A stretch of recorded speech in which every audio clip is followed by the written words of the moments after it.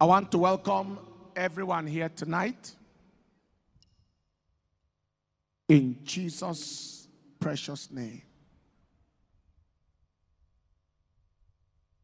Ephesians chapter 5, verse 31. He said, For this cause shall a man leave his father and mother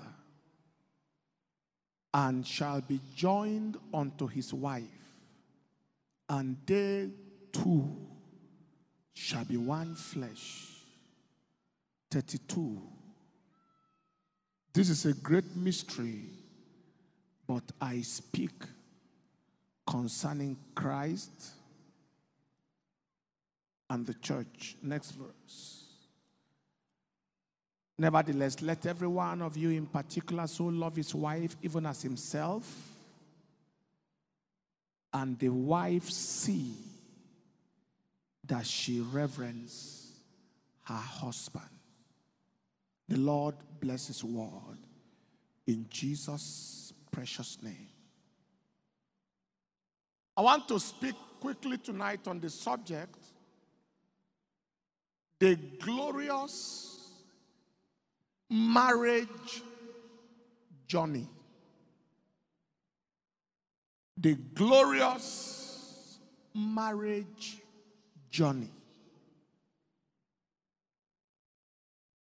Because scripture said that Christ want to present to him, the church to himself a glorious church not having wrinkles or spot. The glorious marriage journey. Our objective is twofold. One, understanding what to do to enjoy marriage. And number two, understanding what to do to last in marriage. What to do to enjoy marriage and what to do to last in marriage. Today being the 25th wed- anniversary of our wedding, the 16th of April, 1994. Today being the 25th anniversary.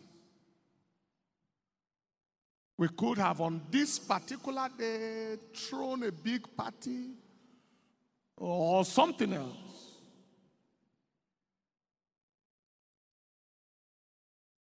But we chose to do this. We might do that later on as a form of outreach to a category of people. But I am not particularly a celebration or occasion kind of person. People force me to do some things. Someone suggested whether we will cut a cake here tonight. I said, never. The first time I received a wedding, oh, sorry, a birthday card, it was my wife who gave me. I didn't know what it means for somebody to receive birthday card because I have never given anybody. In fact, I normally forget my birthday. I'm, I'm sure there are some local people like that. It is in these days that people talk about birthdays a lot. In those days, the birthday has passed before I remembered. It's okay. Today is June what? June 12th. Okay. One week ago was my birthday. And so on. So much so that when somebody say happy birthday to me, I didn't know how to answer. At times I say same to you.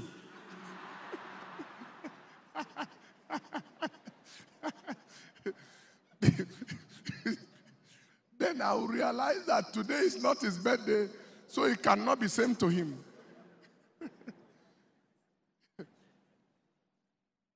that is how it is. So, what is necessitating a meeting like this?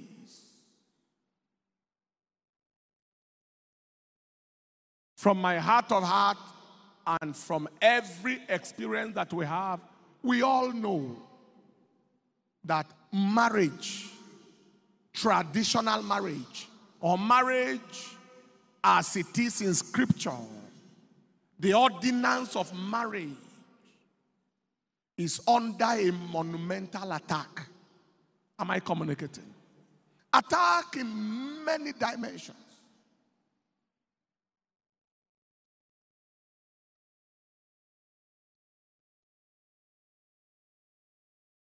It looks to me like there is a conspiracy from the pit of hell to make it look like, after all, marriage is not worth it.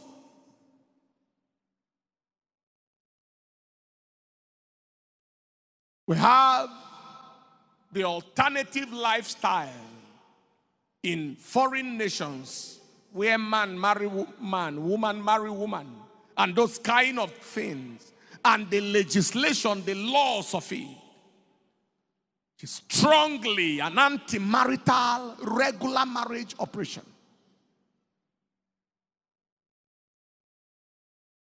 We have situations today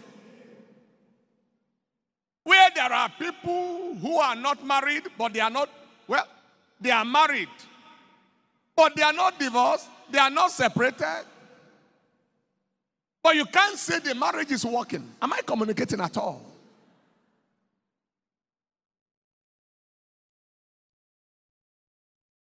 There are people. Now, now I'd like you to understand that in the position, in the oh, privileged position that God has placed us, people communicate with us their problems on a, on a permanent basis. In a week, I might re- receive text messages like maybe five four. Depending on the week, maybe it may be up to 10 or, or less. Pastor, I don't know where to go. My husband has just run away with another girl. That is a regular text. Me and my two children, the house rent has expired. I don't know how to renew it. Another one I received, I think, last week or so. My husband has chosen our 18 year old housemaid above me. He wants to marry her and throw me out. This is a permanent text message. Am I communicating? So you have such problems. I was dealing with a case the other day when a Somebody just colonized somebody's husband. Said, You are not going to get the man back. When the man said otherwise, this strange woman nearly killed him. So we have such situations. And young people are watching and wondering, is marriage worth it? Then you have the situation where people marry today and they are threatening each other divorce under three months. Not careful, I walk out of this thing. I know of those who have walked out of marriage that is less than one year that I know. And when the, the world sees such a thing, it's a celebration. Because nothing is really real, nothing is real, nothing is working. And I don't want to believe the statistics that says that the breakage rate is even getting higher in the church than in the world. I heard of that at the American angle. And I don't want to believe that it is the same in Nigeria. So at the end of the day, there are some lies that the devil wants the world to believe. Some of them are lies we want to knock out.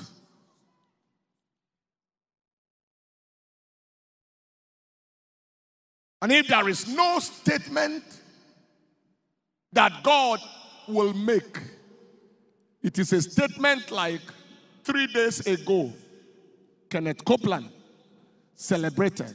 That is on the 14th Sunday of April. He celebrated 57 years, 5 7 in marriage, crisis free. That is a slap on the devil that says marriage cannot work, that says nobody can make it work. Today, a smaller person is doing 25 years anniversary. All this within three days.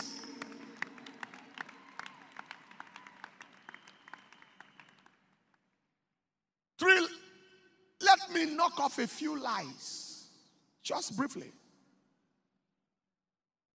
The first lie I want to knock off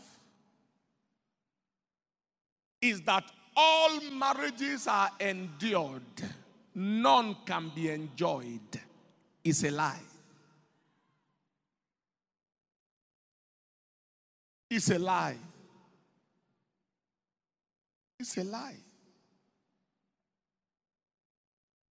That everybody is enduring their marriage, none is enjoying his marriage, It's a lie.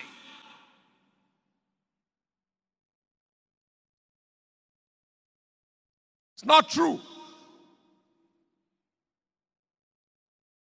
He said, Two are better than one. Not worse, better, for they have a good reward for their labor. I know that Copeland has not endured, is not enduring.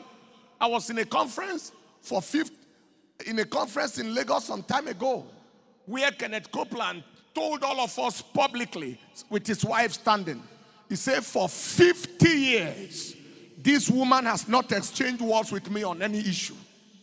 50. The happiest woman you ever saw in the world. I know.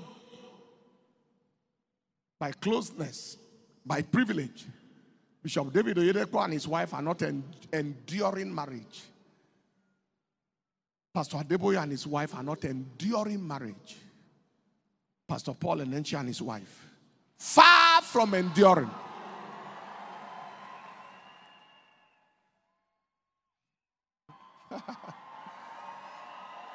the picture you saw just now, we just snapped it at um, the Rose of Sharon Park here, the Garden of the Lost Garden. The one we're wearing those very, very terrific glasses.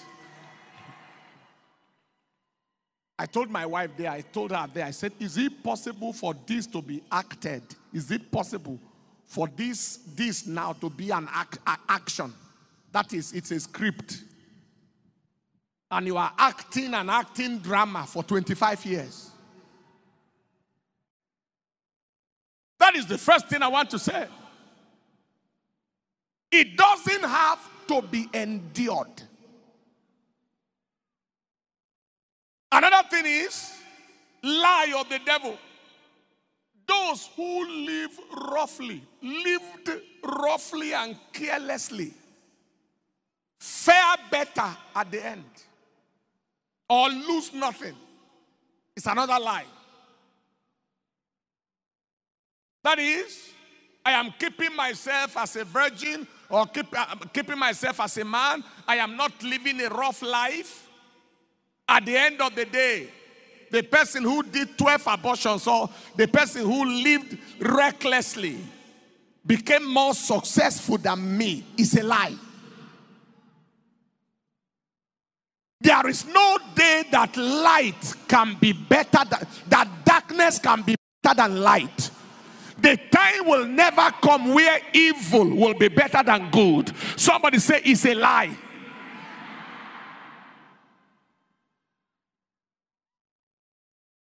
I told my wife yesterday, said, see me and you as young men. We could have squandered our life, young people, in the normal life of partying, discoing, and all that. serial womanizing and serial menizing and do all those kind of things. But we lived according to the ordinance of God. Lived in relationship for two years and four months of courtship, bed undefiled. And I said, is, is there anybody today who lived roughly at that time, carelessly, dangerously, and lived for the devil, who is better rated today? The answer is a capital no.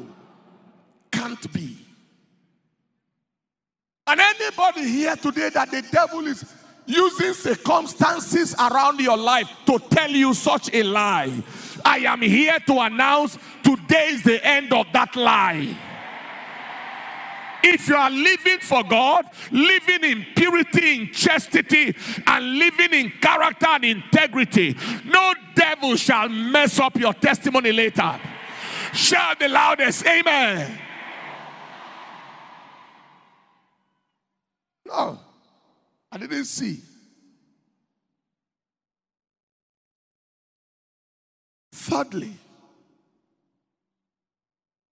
the third lie is that marriage cannot be free of crisis or compound conflict is another lie.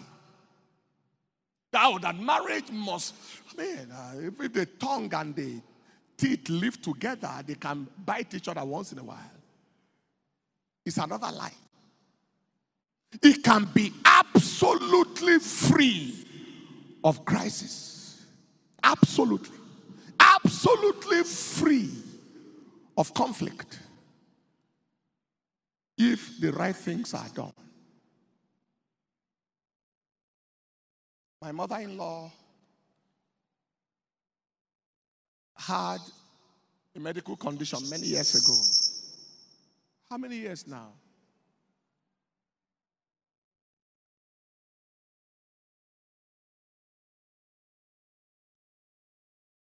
maybe like 11 years now. And God rescued her life. She was on oxygen, heart, ischemic heart disease, myocardial infarction.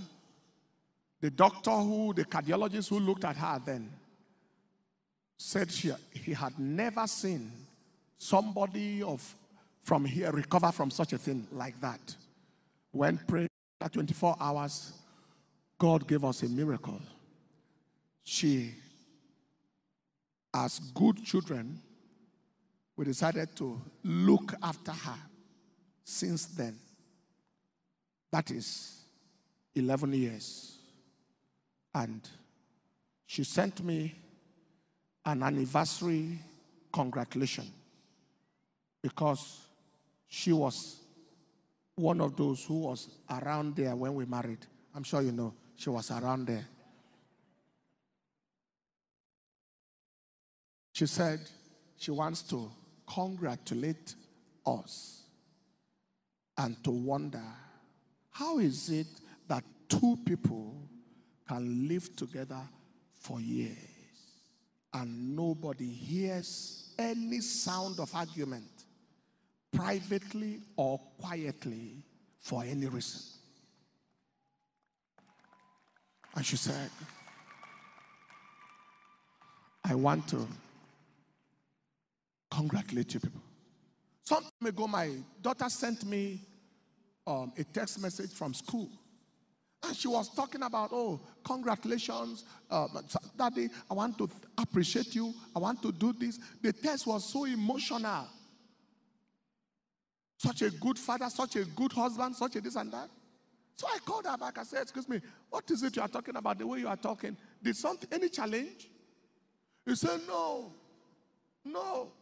I come across my classmates on a continuous basis who, tell, who always tell me how their mother have now packed from the house. How much the father beat the mother last night. And they send the message to the girl in school or the boy, and the, and the young girl is, is not concentrating in class and they are telling stories of the horrors the mother is passing through or, and the family. And she's telling them, I don't, I, I don't, I, I don't know what you are talking about, but may God help you. And she said, I want to thank you for not causing us to experience such a thing.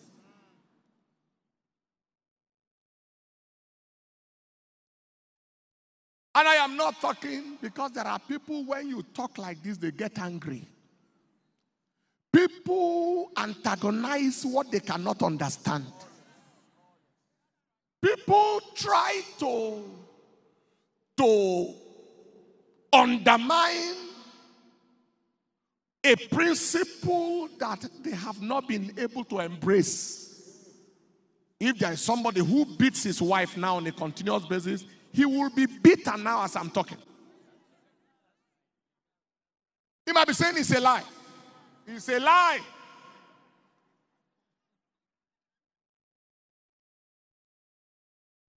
It's a lie. It's a lie.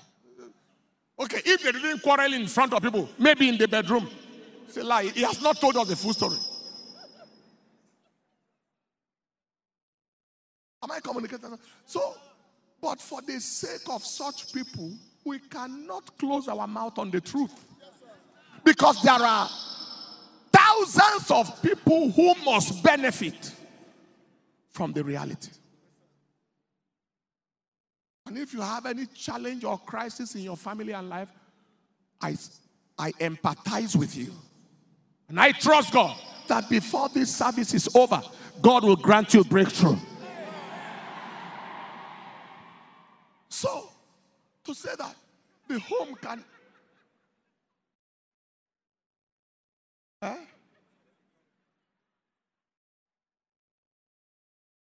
Hallelujah. Look at your look at your neighbor. Say it is possible for it to be free of crisis. It is possible for it to be free of crisis. It is possible for it to be free of crisis. The final lie is that marital love fades away with time.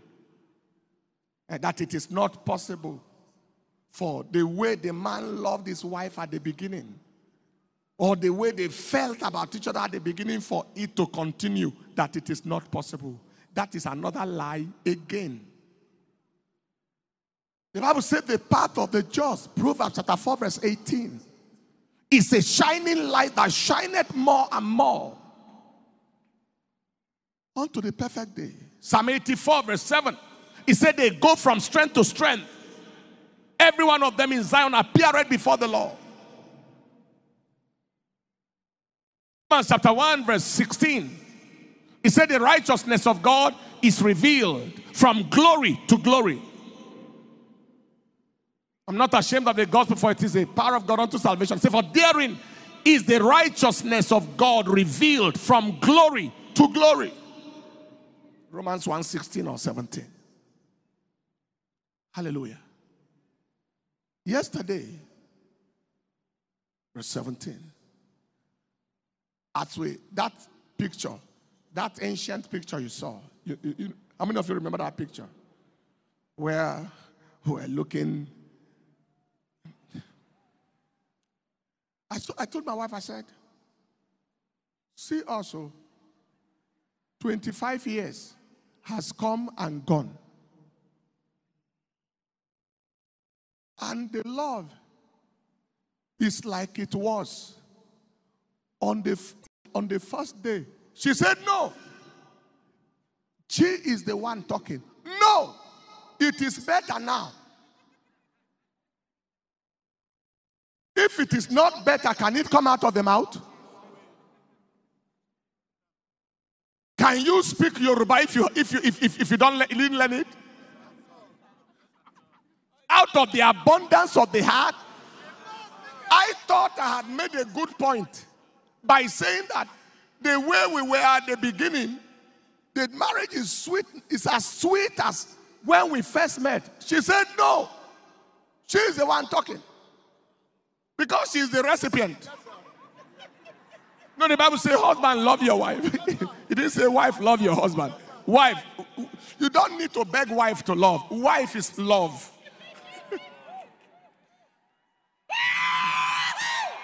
Women don't have problem loving anybody. Husband, God, and in some cases, devil.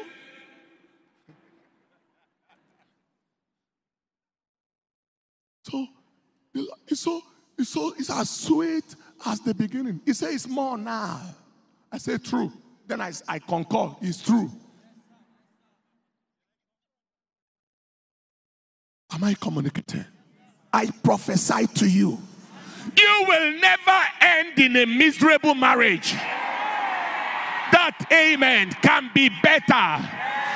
You will never end in a miserable marriage. Your children will never end in a miserable marriage. You will live an enviable marriage.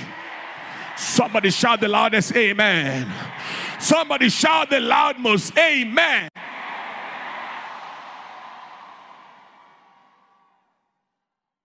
Hallelujah. Say amen. Having said all of this, on the journey to a glorious marriage, if you want a home that is not to be endured but enjoyed, and if you want to know what to do to last in marriage, what do you do? For the sake of time, I am going to be very, very sharp. Number one, talking to singles or those who are trusting God to be married, have a clear picture of your desired or desirable marital future. Have a clear picture of your desirable marital future. Habakkuk chapter 2, verse 1 to 3 said, I will stand upon my watch and I will watch to see what he will say unto me and what I shall answer when I am reproved. And the Lord answered me and said, Write the vision and make it plain upon tables that he may run and that readeth it. For the vision is yet for an appointed time. Have a clear picture what you see affects what you experience. A clear picture. What kind of home? Assumption only brings frustration. Don't marry because you are up to the age to marry. Marry on purpose.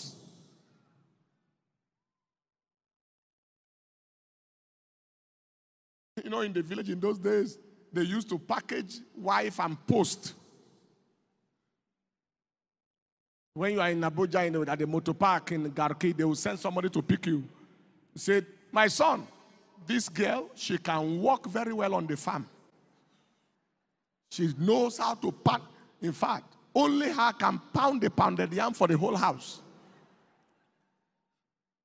Those were the credentials and other such things. And the marriages were just like, whatever. What is your picture? Do you want to marry because all your mates are married? And so any man that comes is a man? Do you want to marry because your parents are putting you under pressure from the village? And so anything that anybody that comes your way is, is, is a person to be married? Before I got married. The picture was clear. I knew what I wanted and I knew what I did not want. Then I have I had marital models in Kenneth and Gloria Copeland, TL and Daisy Osborn, one other person, couple. I saw them as men and women who stood with their wives in a supportive, very, very closely knit relationship. As they impacted their generation, I saw those pictures. And to me, that was what I was headed for. I saw through scriptures. Beloved brothers and sisters, that was what I saw. I identified clearly. Like the lady testified, and I told them to do last year. What kind of person, woman are you going to marry? It was clear to me a woman that will follow me to any part of the world at the shortest notice. The woman who is mission minded, missionary minded. For me, yours may be different. The woman who has capacity to accommodate a, a, a crowd, because I'll, I will be a person of people, and so on and so forth. What is her height? What is her complexion? What is this and that? Wasn't too much of the matter for me. Am I communicating? Let that picture be clear. And when that picture came to be, it was not hard. Somebody say, Amen. God gave me the opportunity to talk about marriage to only one person in the world. That is the person I'm married to. By virtue of his help and by virtue of clarity of picture.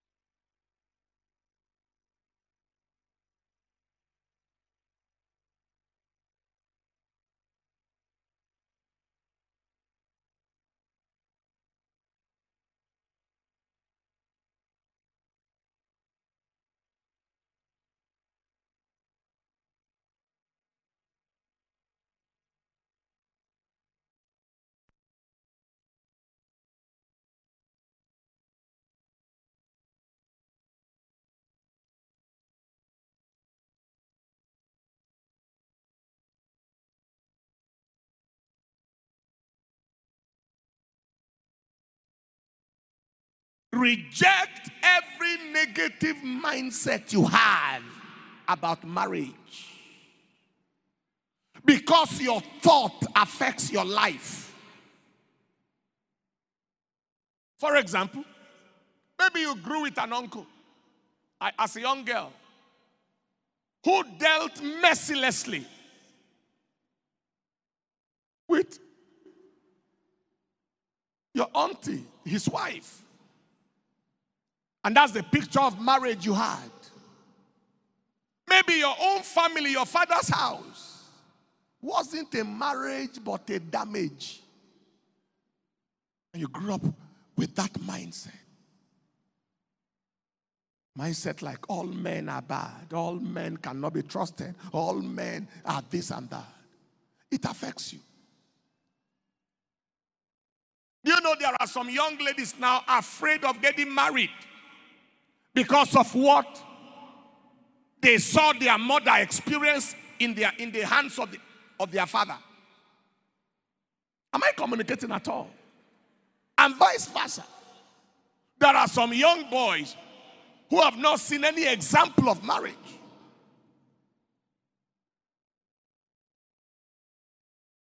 A, a girl, a woman, all the time he sees her father in her husband. And it was a bad father. He tells the man, You look too much like my father. At the end of the day, she walked out of the marriage, walked out with the children. Man cannot find his wife, can't find his children. Negative picture. Hear me. For every negative picture you have, there are more than a hundred, a thousand positive pictures. If there are marriages that did not work, there are those overworking self. Among our pastors here, there are marriages just like the way we are crisis free, trouble free, peaceful. Husbandable husbands, wifeable wives. Communicating? I didn't come out of a family from a, of a perfect home. No, our own was a poly, poly polygamy. I'm not talking about uh, six wives or seven wives or, or ten wives. Let me stop there.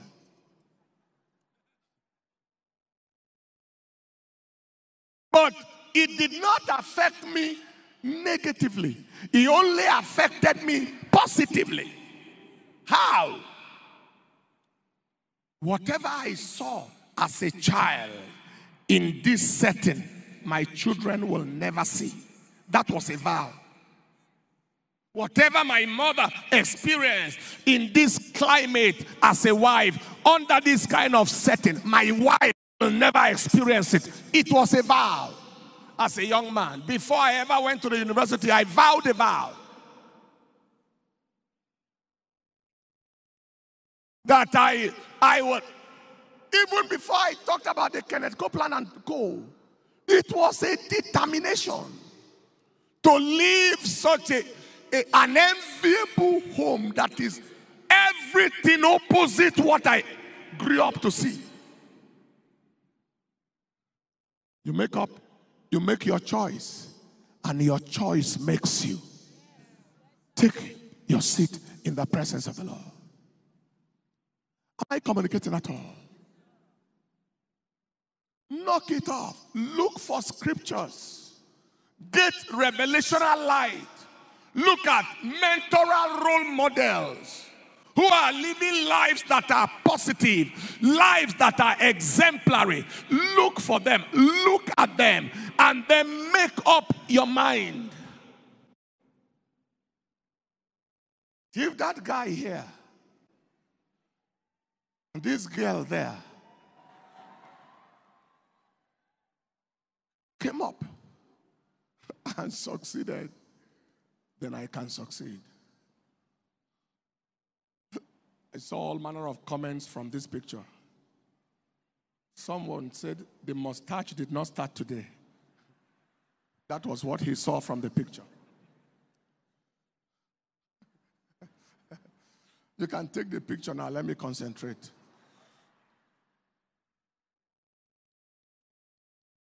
Reject every negative mindset. Use scripture to reset your mind. What did I say? Use scripture to reset your mind. It's possible. Marriage can work. If my parents' marriage did not work, or my uncle's marriage, marriages did not work, or marriages that I know in the neighborhood, if they did not work, mine will be the first example of a marriage that works. Got determination. Number three, know who you want to marry. Someone say, oh, what is the meaning of that? It means that many people married strangers. Many people married who they didn't know. They didn't know them. If they knew them, they wouldn't near them. Genesis chapter 29 and in verse 23. And it came to pass in the evening that Jacob packaged Leah. his daughter, and brought her to Jacob. And he went in unto her. He was more interested in container, not content. Verse 24. And Laban gave unto his daughter Leah Zilpah his maid for an handmaid. 25. And it came to pass in the morning, behold, it was Leah. He thought it was Rachel because it was Rachel he labored for. And he said to Laban, What is this that thou hast done unto me? Did not I serve you for Rachel? Why did you deceive me? You beguiled me. And Laban said, It must not be done in our country. So, to give the younger before the firstborn, fulfill her week, do labor for this one as well, and I will give it to you. Now, this is a major challenge. A whole human being you were with a whole human being, Gabadiah. Night till morning. Were they identical twins? Even if they were identical twins, there was no, you couldn't distinguish in their voice. Or they gave you choir to drink. maybe, maybe, maybe, maybe Laban gave him diazepam or lorazepam or something. Just, oh, they gave him choir to drink. In the morning, you woke up to realize that this is not the person I want. We might laugh at Jacob, but many people march to the altar with somebody they don't know. Only at the reception, the person manifested.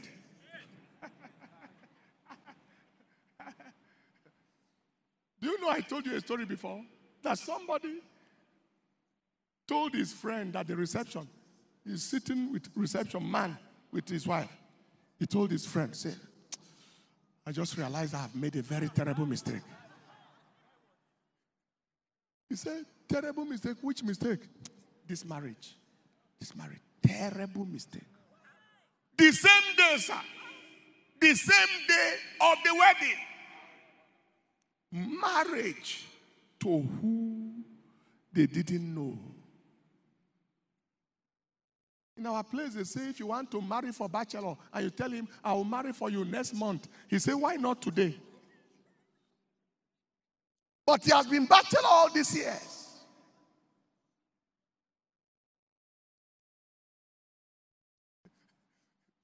That's what I'm saying. I beg you for the sake of your future. Human beings at times can act. Mama, good morning. Yes, ma. Yes, ma. Yes, ma.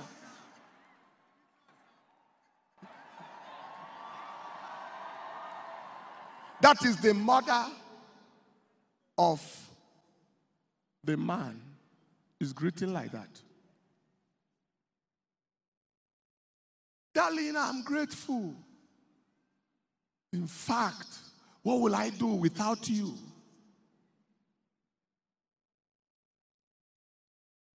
Only for one day of marriage. Mama, your food is on the table. Which table? How many tables are there in the house?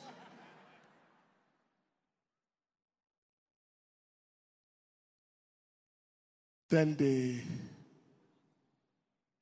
man realizes he just married knife, not wife.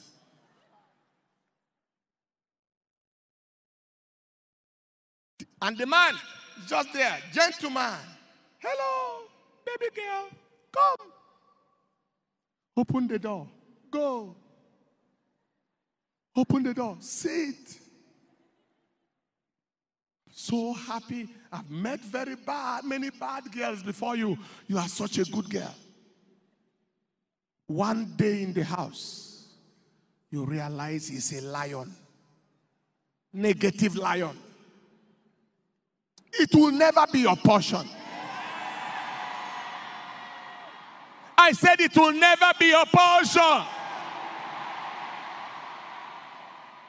That statement appears simple, but it is deep. Know who you want to marry. Two ways to know. First, give it time. Number two, which is what I'm going to go, ask God to show you who that person is. Lord, who is this girl? Show me who this girl is. Show me who this man is.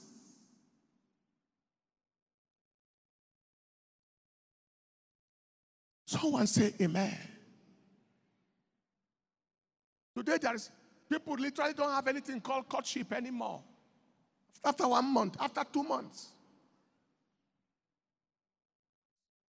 Saw the person today, they married in, in, in, in within two months.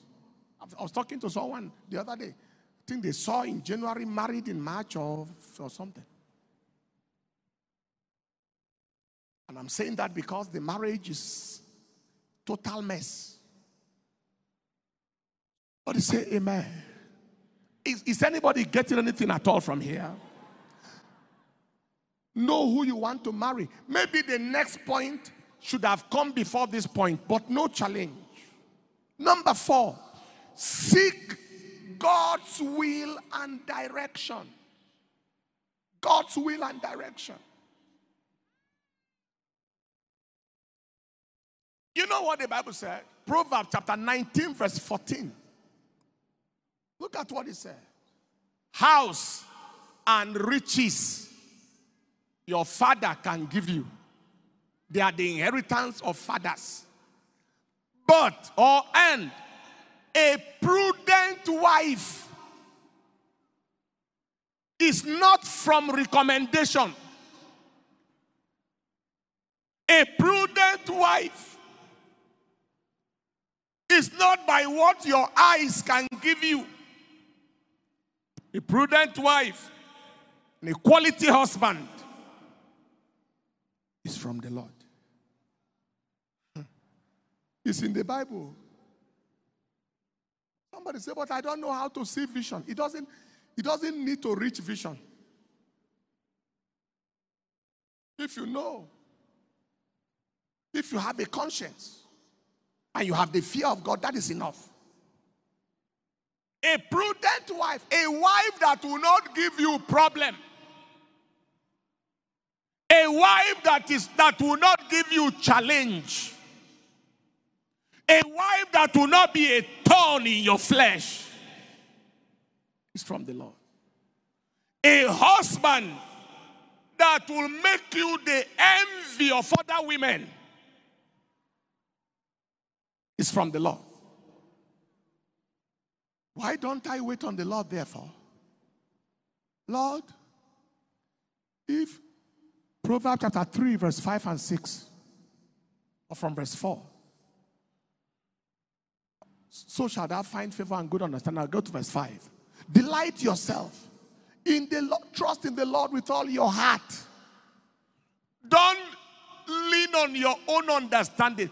Don't base things on the way you think or feel. In all your ways, acknowledge Him and He will direct your path. Hello?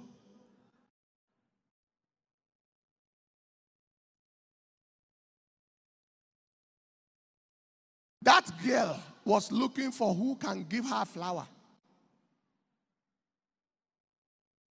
if she married a non flower giving man, plus any other thing she was looking for, wahala. This is the point. As a person, God knows your personality. He knows your attitudinalities. He knows your emotional complexity. He knows your, your proclivities and tendencies. He knows your vision, your passion. So he packages a person that can accommodate you. Not just accommodate you, a person that can, can complement you like a second half of yourself. That is why God must be given leverage. Hello. God knows your content and knows your future. So he knows whoever is compliant with that content. You know how uh, some computer systems are comp- uh, is it comp- com- compliant with certain things? You know who is compliant with that makeup and who can accommodate your future.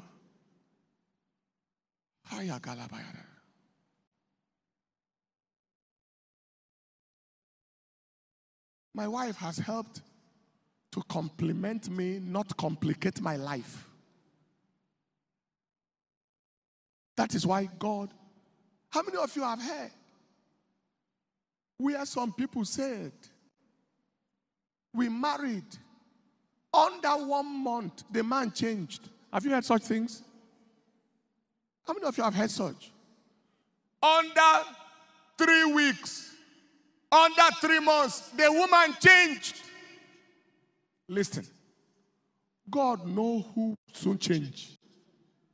He knows who will soon change. That is why, Lord, and some people are afraid of the will of God. If I ask God for the will of God and He directs me to an ugly person, what will I do?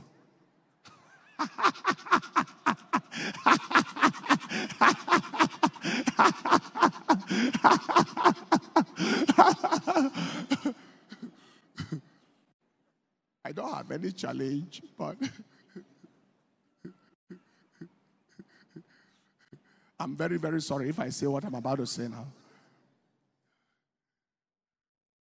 If I ask God for the will of God and He gives me a very short and fat man, and I don't like such people, what will I do? Please don't look at God as a wicked God. God is not like that. He is very loving. His commandments are not grievous. He won't give you serpent if you ask for fish.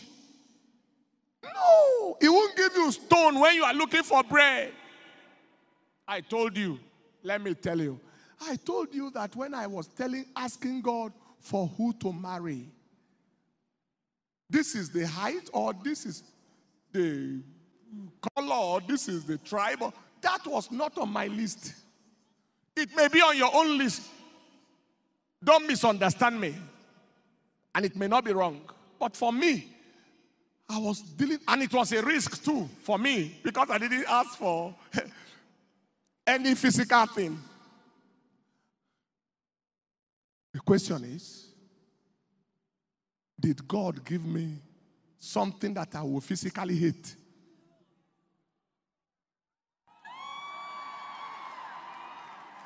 The person that you can see there is he a hateable personality? No.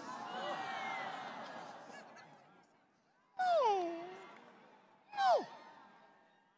You understand? Some people say, I am afraid in case I tell God, give me the will of God, He will give me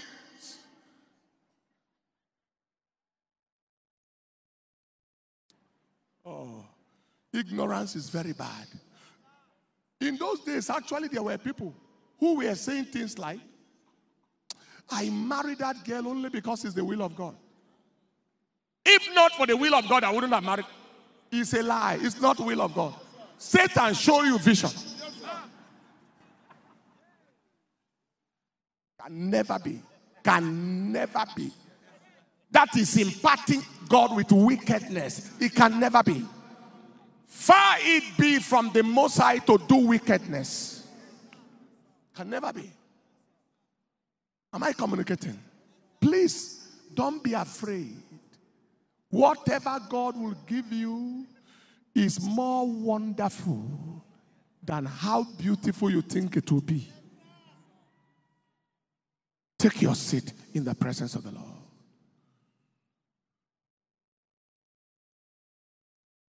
Somebody say amen. Are you getting anything from what I'm saying at all? How will God lead me? Maybe I reserve it till next Monday. You said there is another event for youth and singles. Give you the details in area one. Easter Monday, right? Because if I'm to include that here, we'll not finish here tonight. God, trust God to direct, to lead you. Don't let time pressure or pressure from anybody hurry you into what may not be the will of God. What have I said so far? Number one, have a clear picture of your desired or desirable marital future. Number two, reject every negative mindset, especially concerning the issue of marriage. Number three, know who you want to marry. Don't get into a whole lifetime spent with a stranger.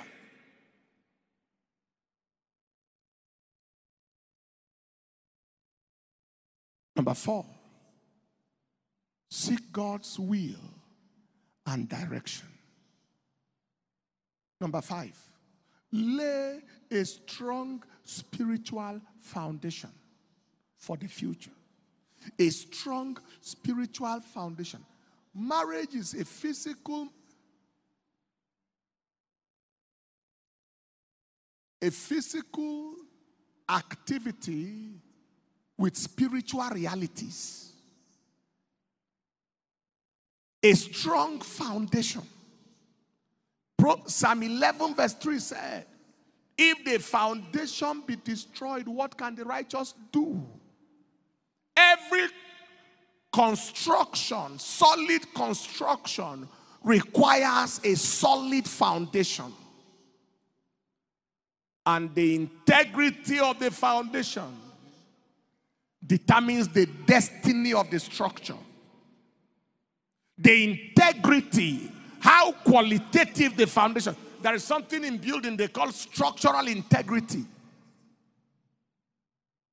The integrity of the foundation determines the destiny of the construction or the structure.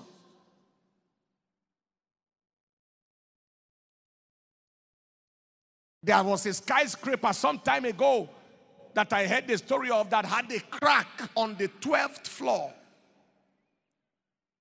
And they traced the defect to the foundation. Somebody was doing an illegal activity in the foundation that affected the structure in the 12th floor. So lay foundation.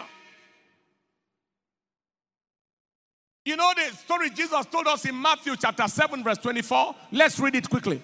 Time is going, but let me see what I can do. He said, Therefore, whosoever heareth these sayings of mine and doeth them, I will liken him unto a wise man which built his house upon a rock. The rain descended, the floods came, the winds blew and beat upon that house, and it fell not, for it was founded upon a rock. And everyone that heareth these sayings of mine. Now, let's stop there. The winds came, the flood came, the storm came, but, the, but it stood because of his foundation. How many of you know that? In the journey of life, the winds and the storms and things can come. All of a sudden, the devil sends some people to jam your head and the head of your wife. All of a sudden, family gathers they gather and then all of a sudden begin to say some things or do some things. All of a sudden, strange and sudden misunderstandings. Whatever. The wind, the storm, and all that. He said, if it is standing on a solid foundation, it doesn't matter what comes against it. It can't do it anything. Hello? Anybody in courtship here? Please don't let it just be a flesh, flesh thing. Hi. Just to say I'm missing you. Me too.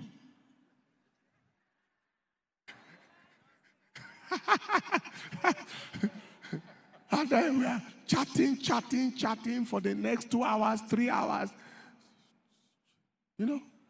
And then uh, all is just fleshly things. What, what did you eat today? I ate uh, beans and, and chips and, and uh, plantain, even though I didn't finish it. What of you? What did you eat? I ate um, gari with ofo Everything, everything they are talking about is just flesh and carnal and everything. Don't make it work like that. My wife and I, we had a rugged day of fasting and prayer for two years and four months, once every week, to pray for the future of our life together while the courtship was on. To pray for the children yet unborn, to pray for the ministry yet to, to, to start, to pray for everything. We prayed, we fasted. If I travel, I'm in another town, and she's in another town. When, we, when it is time to break the fast, we agree on the prayer points to agree upon. We did that for two years and four months. I had another day of fasting. She had her own day of fasting. But the two of us, we had a common day to fast and pray. If I saw a revelation, I share with her. She read the scripture, saw something that touched her, she will share it with me. If I read a book that touched my life, I will give it to her to read. So that we can flow with the same mindset. Foundation determines destination. Am I communicating at all? Nothing happens by chance. And the foundation is the foundation of prayer and the foundation of purity. Foundation of what? Purity. Was that not Hebrews chapter 12, verse 4? That said that marriage is honorable in all, but the bed undefiled. And said, "Who Whoremongers and adulterers, God will judge. Hebrews 13, 4. Marriage is honorable in all, and the bed is undefiled. The purity of the bed is the strength of marital foundation. If the foundation be destroyed, what can the righteous do? Every time there is illegal activity between a man and a woman before they marry, it weakens the marriage, it weakens the marital foundation. Every episode of immorality is a further weakness to the future. Hello? That is why some people will love themselves so much. And then they keep on going into immorality before they marry. And before you know it, the man comes and says, I'm not interested again. And the girl said, What have I done wrong? I remember a girl, she said, I've entered five relationships, none worked. I asked only one question Was there immorality involved? Yes. Which one? All of them. So by the time the man has gotten what he thinks he wants and got so cheaply, question is this is too cheap. You know, when you price a car and the price is too cheap, you suspect it. Something must be wrong with this car. For it to be sold at this price, the, the, the real ones are 5 million. How can they say 300,000? Something wrong. Am I communicating at all? How many of you know that when you drive a brand new car from the parking lot, the, the, the, the, mileage is normally zero, zero, zero, zero. By the time you move it and the mileage has reduced by one kilometer, it has been devalued. Do you understand what I'm saying? So when, we, when they say the marital bed should be pure, it's not for any other reason other than to safeguard the future and ensure that the foundation is not weakened by sin It's not weakened, weakened. Somebody say amen. Somebody say louder, amen. Did God speak to anybody here at all? So lay a strong foundation. Be spiritual. And because we, we have more temptations now than 25 years ago. How many of you understand that that is true? As the end of the world is approaching, iniquity is multiplying. Things are getting worse in terms of things. Marriage failing more. All manner of things are happening. If there is any time to be more spiritual, it is now. Now that marriages are failing more than before. Somebody say amen. Lay a strong spiritual foundation. Number six, never feel obligated to continue in relationship if conviction is lost. Never feel obligated to continue in relationship if conviction is lost, if your peace is lost. This is very important because I've seen a lot of people who ended in a regrettable future because of sentiments. Never put sentiments ahead of principles. Never put sentiments ahead of substance. The Bible said in Psalm 85, verse 8, He said, I will hear what the Lord, what God the Lord will speak, for He will speak peace. You started relationship very well. All of a sudden, you are under pressure. You see the man, you are tensed up. He sees you, he is tensed up. Every telephone exchange becomes a quarrel. You know, you begin to see strange character manifestations. And you are wondering if I can see this kind of thing now, what will happen when we get married? And then sentiment begin to tell you don't disappoint anybody. Just go ahead. Don't disappoint anybody. Just go ahead. You know, the man loves you. Don't disappoint him. And you are seeing handwritings on the wall. Or another mind. Don't break anybody's heart. And don't misunderstand me. I don't like men who break women's heart. That is why, if you are not sure, don't start in the first place. But here you are. Your wife to be was angry to a point where she took knife. Only overpowered by witnesses. Say, don't break anybody's heart. Or another voice of sentiment say, People will say you, you, you are confused. This is the second one, or the third. People will say you don't know what you want out of life. So just go ahead, try and make it work. And go, and, and you have seen signals, sir. With your eyes open, don't enter the grave. Am I communicating at all? Or am I wasting your time? Or am I wasting my own time? No, don't ever feel obligated. It is never too late to make a U turn when you realize you have missed the road. A young lady sent me a text message and he says she's in relationship with a man. Already they have compromised each other's sins, but she has repented, they have repented. Long story made short, the man and herself are quarreling on certain issues. And the man said to her, I am going to marry you. Your people say I should bring so and so. I will bring it. But let none of them near our house. Your mother cannot near our house. Your father cannot near our house. None of your relations.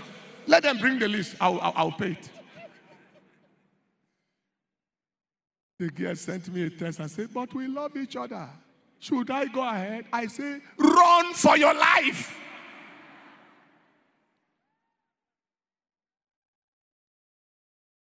Run for your life. The handwritings are too much. Some time ago, I was, I was, they brought a girl to me. This girl traveled from all over, from, uh, all, uh, from, from across the world to, she lived in another country. Marriage, she was coming for wedding. When she arrived for the wedding, he saw the man to wed, saw every circumstance, no peace. She said she cannot marry this marriage.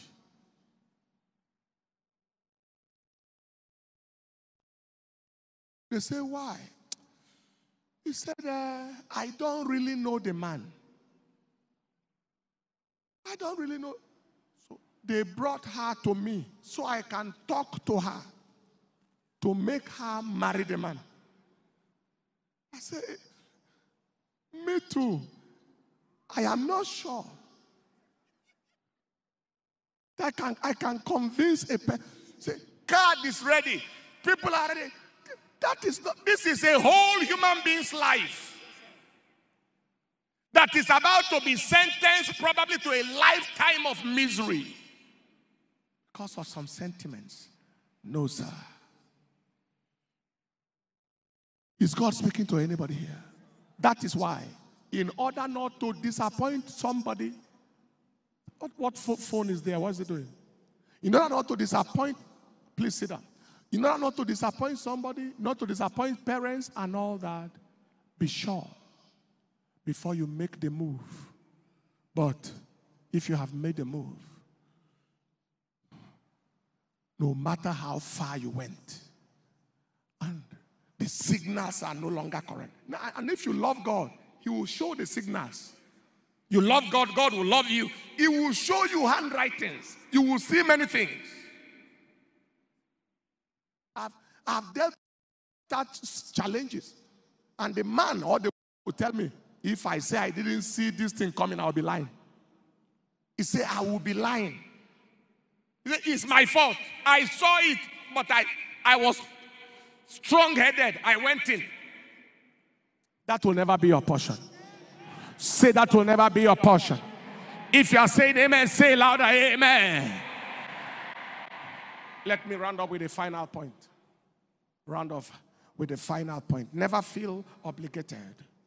And finally, before I go to the final, there are things that are better than others. If there are many bad things, breaking somebody's heart or living in hell forever, disappointing somebody, or aborting the whole of your life's destiny because you got hooked to the wrong marriage. One is better than the other, one is less. A person disappointed can be reappointed later. A person jilted, God forbid, can be tilted and lifted later. God forbid you will never be that person jilted. But one is better than the other. Okay, let me just go like a sheep to the slaughter and manage this man. Maybe that management might end in family coming to carry some devil's dead body, not your own. It, it shall never be your portion. In life, there are some things that are better than the other. I'm speaking to you with all the passion I possess. Finally, never entertain the possibility of divorce. Don't step into marriage as a trial. If it doesn't work out, I walk out. Never.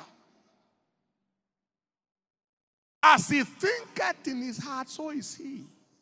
Proverbs 27, verse 3.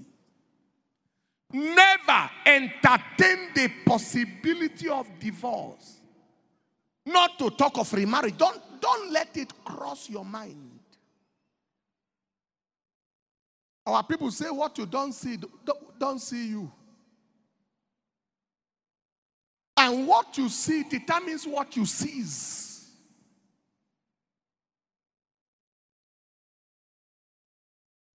There are people who are busy calculating, okay, if this one doesn't work, uh, the next one, how will it be? Um, what will I find? No. That is the reason why people start threatening each other already. One month of marriage, I walk out of this marriage. I will walk out of it. Is it insanity or what? Even do people walk out of classroom like that? Hello? You don't walk out of a classroom like that? No. Whenever you are stepping into, don't ever agree to marry who you don't want to live with for life. For life. For life. Marry with no plan B. If that is your mindset, you will be as careful as a village cock.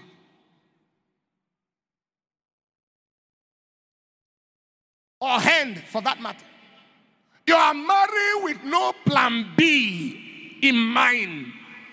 This is not something I'm about to try. This is not a rehearsal.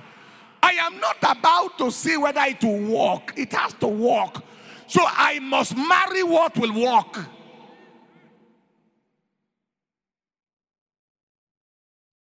Somebody say amen. And both men and women. Never. Beloved, I have, I will stop here tonight.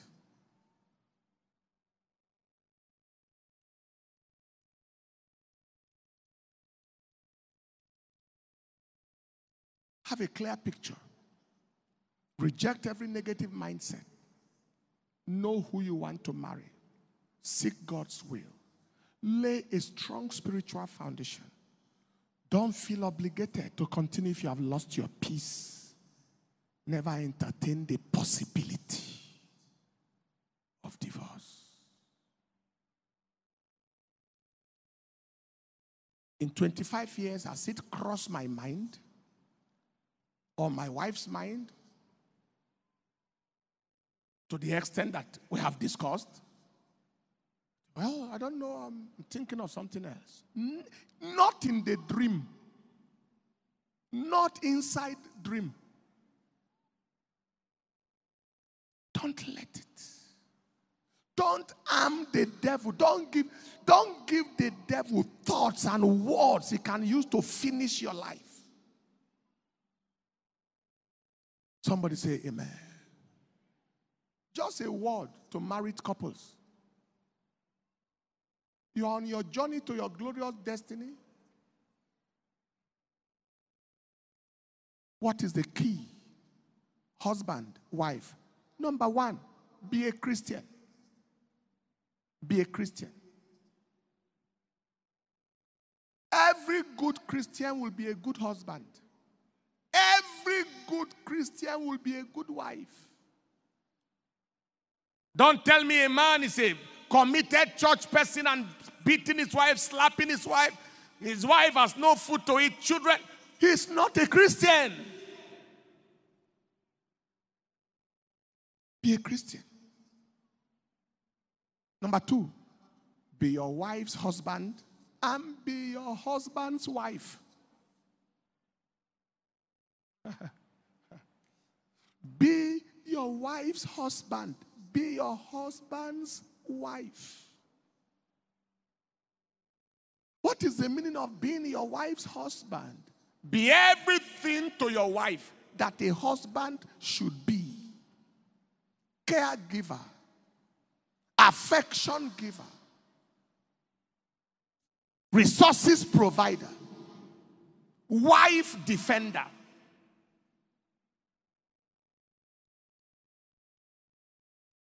There are some people, if not for God, their wives will be walking on the road naked. Husband doesn't know the last time he gave them CC. I think, what a man. There are those who tell their wife when he say food money, say, what about your salary? That is uselessness of masculinity. Did you marry her for, for salary?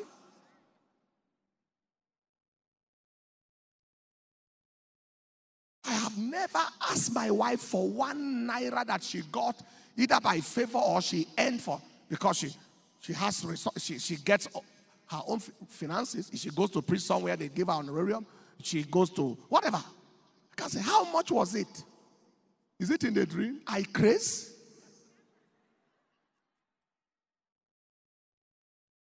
Grace, catch me. What kind of colossusness is that? How much did they give you? All right, bring it. Or she came next time and said, um, um, so uh, food money for me. So what about the money you said they gave you last time? Use it. Men. It, there are some men who are the reason why nothing works around them.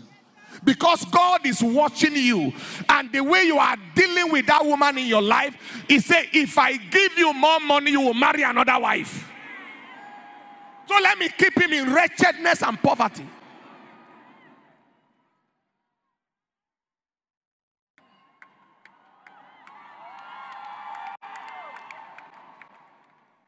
The wife has to beg for food that he will cook for the husband and, and, and the children, has to beg for children clothes, has to come with trepidation asking for school fees.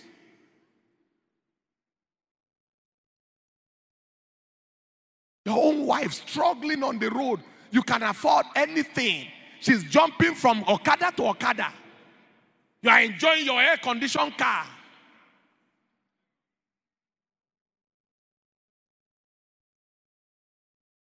The real man will prefer to trek for his wife to be comfortable. The real man.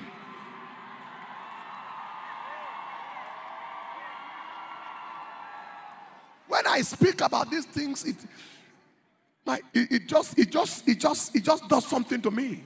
And people are putting church and pastor under pressure permanently for breakthrough, for this, for that to work.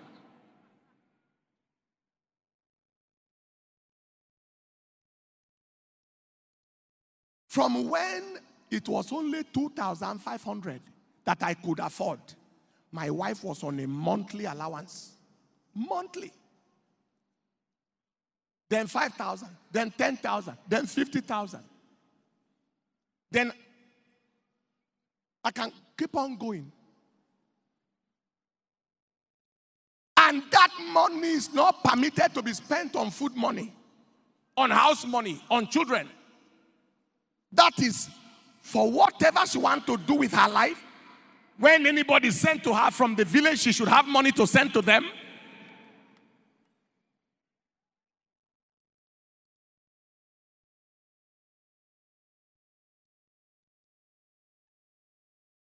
Somebody say amen.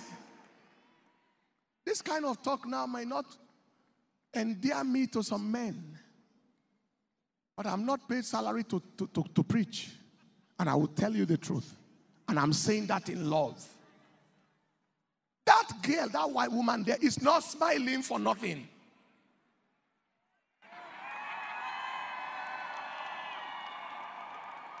If you, if you saw the seed of destiny that uh, they read today, I was the one reading the of destiny. She was just smiling. I said, I'm what is the cause of this smile now? Smiling without provocation till the end. I don't know. I say, smile, smile warm, bite you. smile warm.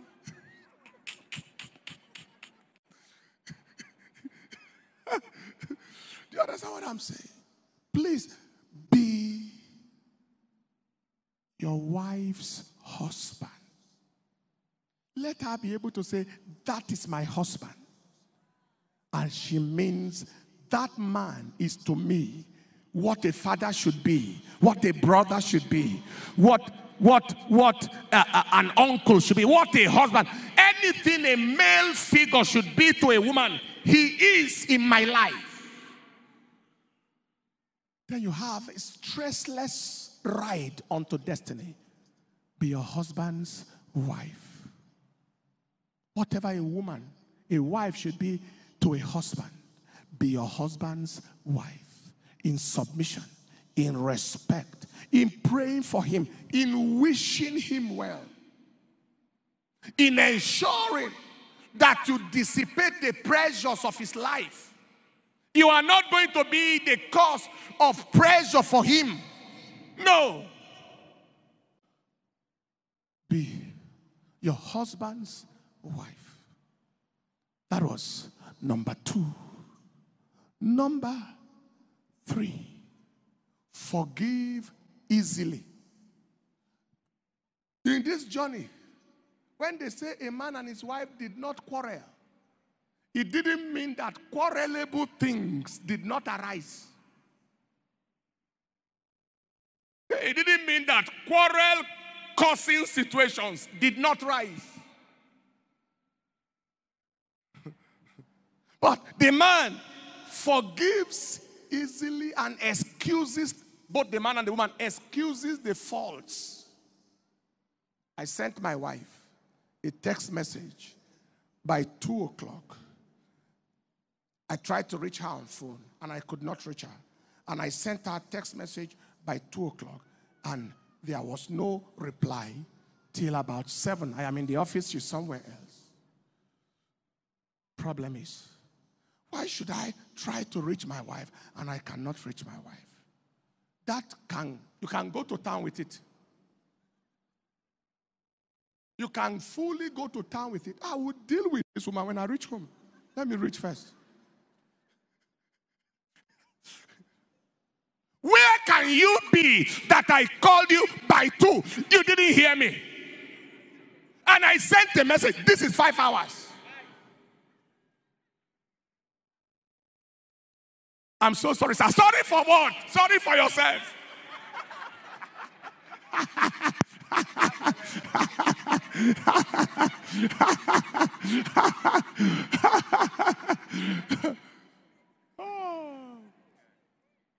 And then one devil will just come near your ears. Talk more, talk more. The devil will be slapping your head. Say he's taking you for granted. He's taking you for granted.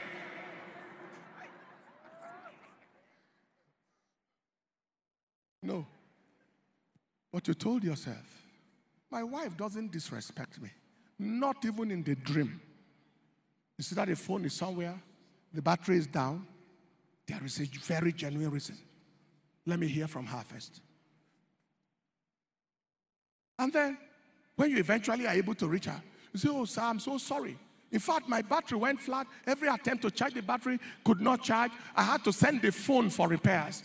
It didn't even come out. It doesn't even come back now. Oh, I thought as much. I know that you cannot deliberately see my text and not answer or be. What I'm suggesting is excuse the fault even before you hear explanation. Excuse. Just the Bible says, love believeth all things. You, you, are, you are defending the person before he defended himself. The question is, does my wife hate me? No. If the answer is no, will she deliberately want to hurt me? No. Then let me find out the details.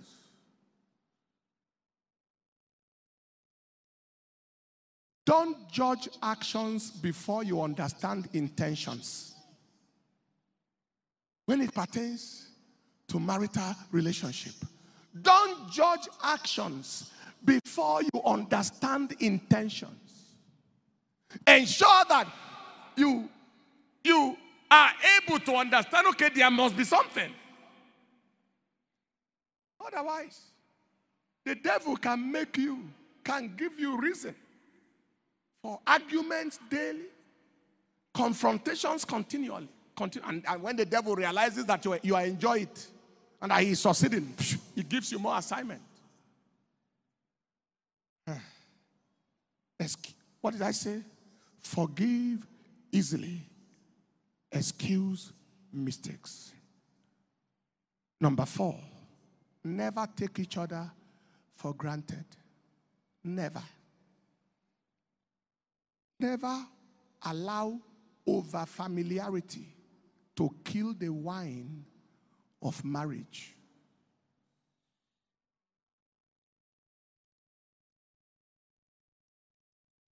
Woman, try and keep yourself in the in a pursuable mode. Pursuable.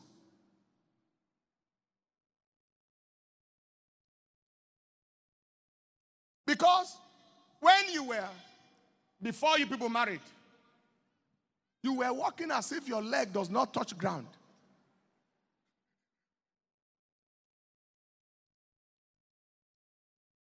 Have you ever seen some people as if they want to divide their body? Honey, how? Oh, I'm happy to see you. Wow. You look so smart today. Thank you.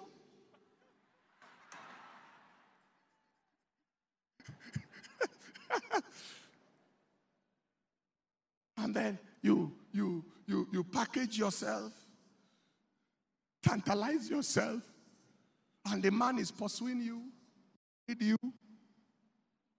Then all of a sudden, he returns back home. Shower cap is on the head. Some retired dress that you are not able to call whether it is gown or dress.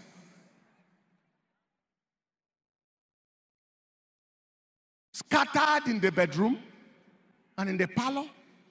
And then you want the man's eyes to suffer corruption.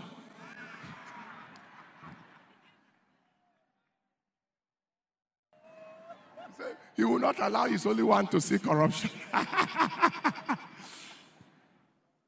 Ask yourself the question if that man saw you like this before you married, will he near you?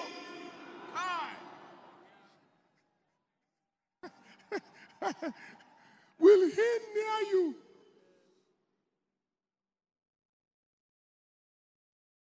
tell my wife at times that particular dress, I need it to disappear.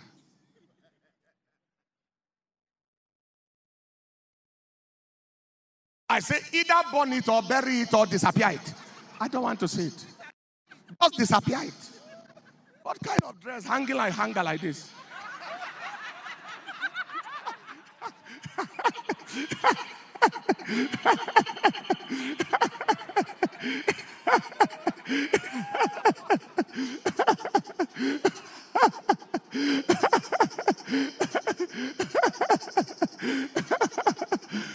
I'm very practical. Oh. You have to you have to save your head.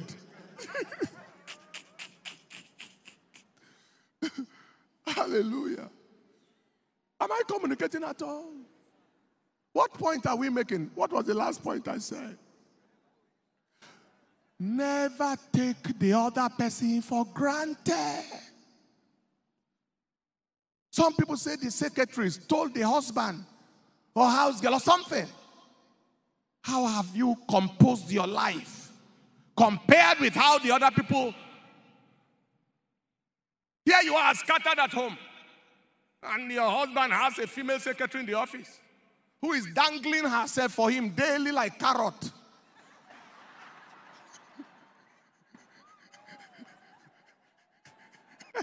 He's just dangling. Sir, will you mind tea? Say, go and give it to you. Okay, I'm coming, sir.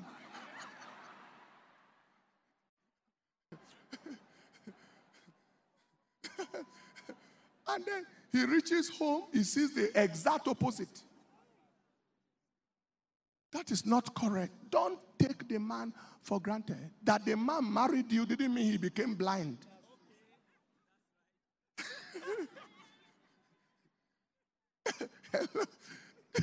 Did you, you didn't understand the meaning of what I said? Did you get the meaning of what I said? Don't take your wife also for granted. Hello? Don't take each other for granted. Let me say two more points and we are through. We are going to break curses tonight. Anybody ready for that? Everything that is fighting you from your father's house tonight, they shall be broken. Just in five minutes, and then we shall be through. Never take each other for granted. Number four or five now, remain the best friend of your spouse. Remain the best friend of your spouse. Put yourself in the position where your, your husband can confide in you to a point where he has no other, he has no confidant better than you. Let your wife be your friend. Let your husband be your best friend. Anything short of this will bring problems. Remain the best friend of your spouse. Number six, be mindful of negative family patterns. Just be mindful. There are many of us, we have come out of families where marriages don't work. Just be mindful. As you see yourself trying to quarrel with your wife, just, in, just remember that your, your, your, your, your, your, relations, marriages don't work. Your, Your, your, your, your family people's marriages don't work. And the same devil is about to fight your own marriage now. So once you have that mindset, then you are ready to fight what fought others. Am I communicating? Be mindful. And for the and, and, and so that you can fight it and resist it and refuse it. That's the purpose of being mindful of negative family patterns, to fight it, to resist it, to refuse it. And finally, be mindful of your next generation. Be mindful of your children's future, the next generation. How you live is a picture for them. The battle you will not fight, you leave it for them to fight. Be mindful. Let your marriage work so that your children can have a positive example. Let, let, let be successful in your, your, your relationship so that your son can understand what a pattern wife can be. And the Lord will help us. In Jesus' precious name. For now, place your right hand on your forehead and leave the other hand up. I'm still going to do what I'm about to do now there, but just briefly. Say after me, Lord Jesus, I come before you to surrender my life to you and to reject every curse, ancestral curse, generational curse, family curse, every anti-marital curse every witchcraft curse, every occultic curse, every force of hell fighting marriages that is fighting my life now. I reject you. I refuse you. You have no place in my life. I receive my freedom in Jesus' name. Place your right hand on your forehead, leave the other hand up. I prophesy upon everyone here today Everything that has limited your life, delayed your life, maritally and otherwise, the delay is over forever. For everyone that is trusting God to be it. Dr. Mrs. Enenche, can you join me, please?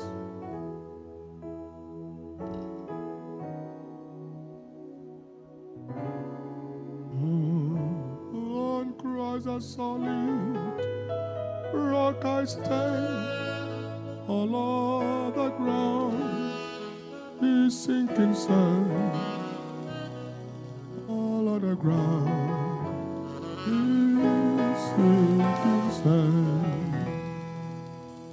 Every oil that has helped us, grace, help, and ability of God. These 25 years in marriage, whatever you have seen in our lives that is a desire in your life I declare, I decree, it is released. It is released. They are released. Every spell of inability to get married, the yoke of singleness, I declare it is broken. The right man, the right woman in this season shall locate you. Every troublesome marriage, receive the help of God in the name of Jesus. Everyone trusting for the fruit of the womb in marriage, receive your answers now in the name of Jesus. Every family with financial crisis, receive breakthrough in the name of Jesus. Every family with challenged children, whether the challenge of sickness or the challenge of waywardness, receive intervention in the name of Jesus. I decree, I declare, and I prophesy.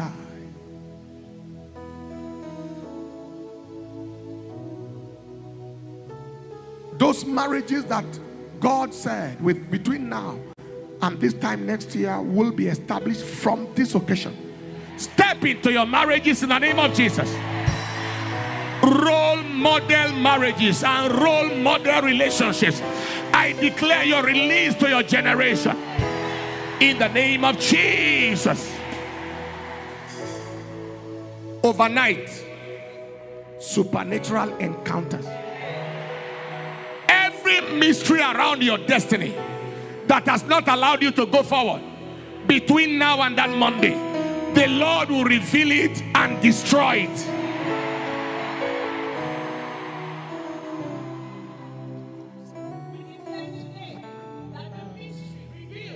Shall be totally cancelled in the name of Jesus. Totally destroyed in the name of Jesus. Anti-marital spells are broken today in the name of Jesus. Every marriage in the realm of the spirit fighting your physical marriage is annulled in the name of Jesus. Every covenant of hell fighting your life and your destiny is arrested in the name of Jesus. I disconnect you from marine spirit connections, from occultic connections, from witchcraft manipulations. We declare your freedom today.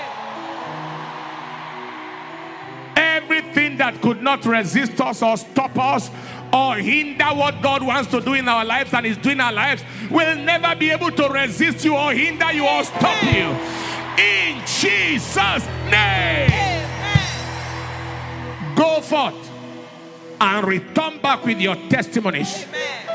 In the name of the Father Amen. and of the Son and of the Holy Ghost.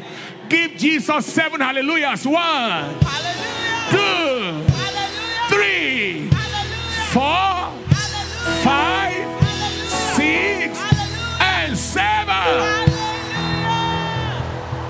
Those in the front, please remain. Shake the hands of seven people.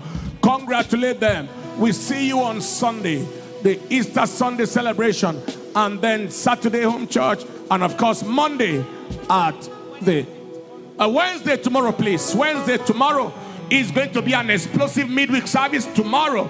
Explosive midweek service tomorrow. Power communion service dealing with the spirits of disease and affliction and premature death. Ensure you are here tomorrow. God bless you. Can this go forth with a celebration, please? Please take pick somebody from the road. Just a minute.